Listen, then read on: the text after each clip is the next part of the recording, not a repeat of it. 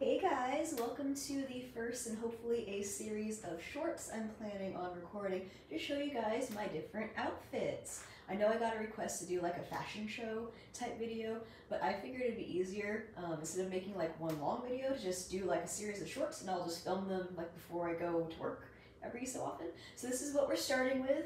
Tonight I am wearing this lovely black outfit. This is from Parade. I will try to link the companies and stuff down below in case anyone's interested. But it's a really comfy little like basic um, lingerie set. It's got little polka dots on the bra top, which is really cute, and super comfy. And I am wearing my rainbow boots today. Hopefully they turn out okay. They've been kind of like iffy so far, but I like them. So uh, that's what I got going today. Let me know if you like this idea.